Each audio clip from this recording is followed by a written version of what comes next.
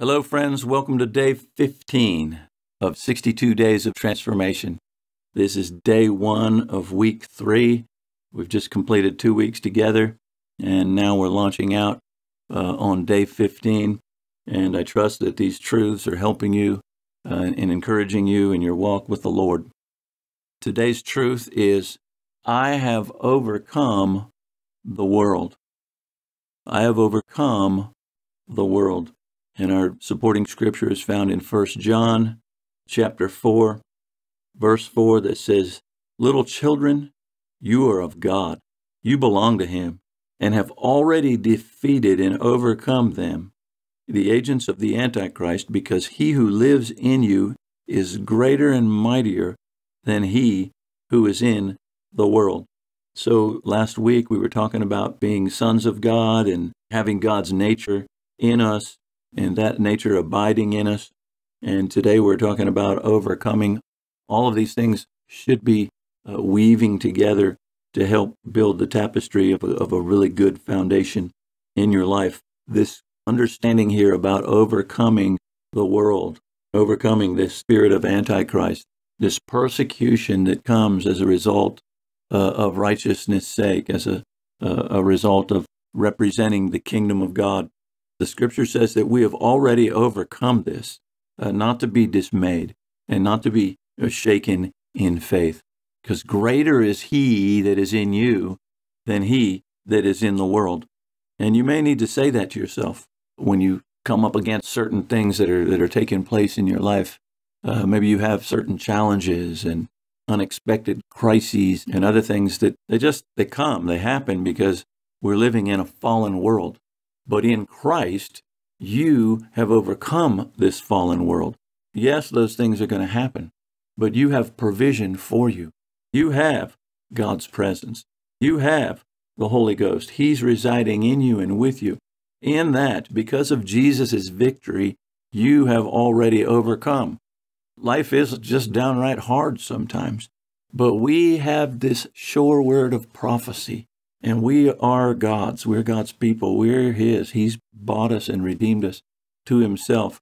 Though we're living in the fallen conditions of this world and the darkness and all of the other things that are taking place, we have overcome it. We're above it. And um, uh, in verse in chapter five, verse five, it says, "Whosoever is born of God overcomes the world." And this is the victory that overcomes the world, even our faith. Who is he that overcomes the world? But he that believes that Jesus is the Son of God. And when we, we, we make that, that assertion of faith and come, uh, and we are born again and come into that place of sonship with God, He's in us, we are in Him, and we have overcome uh, because Jesus has overcome and, and gained victory over death, hell, and the grave. Jesus says there in Colossians that he, he spoiled the principalities and powers and made an open show of them, triumphing over them in the work of the cross. And uh, I also want to share a powerful scripture with you found in John chapter 16, a really simple scripture uh, found in John 16, verse 33. These things have I spoken unto you, that in me you might have peace. In the world you shall have tribulation, but be of good cheer, for I have overcome the world. And it's really awesome the way it's worded there in the scripture. It says, in me and also in the world. In me, there's peace. In me, in me, you have a peace that's that, that the world can't comprehend. The world doesn't know anything about. It's a peace that only can be given uh, by God. It's, it's, it's, it's a wholeness, it's a shalom of God that the world cannot receive. Only God can give it to you. And then we have in the world. In Christ, we have peace. In the world, we have tribulation. Well, what are we going to do in the midst of the tribulation?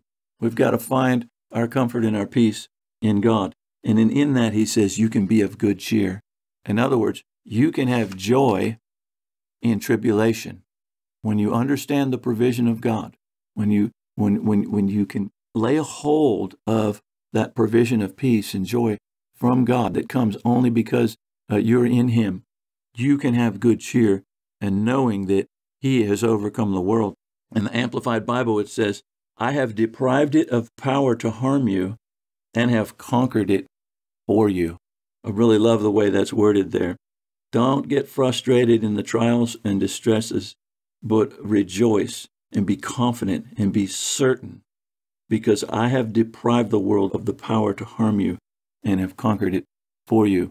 What a great way to part this morning. What a good, great way to start the day, knowing that uh, God has given us victory over these things in life. And I don't know what you're under today, but my encouragement to you is to come over to God. don't be under the circumstance. Be an overcomer through God's provision. It's there for you. Receive it by faith. Uh, read, get into the Word of God and, and, and begin to dig some of those things out for yourself so that you can walk in that progressive victory that God has for you to live out in your life. So God bless you today. I love you and I appreciate you. And I really value the time that you've taken to spend with me. Go forth in a new power, knowing that you are an overcomer. Christ has overcome the world. So have you. Be victorious today in Jesus' name. Amen.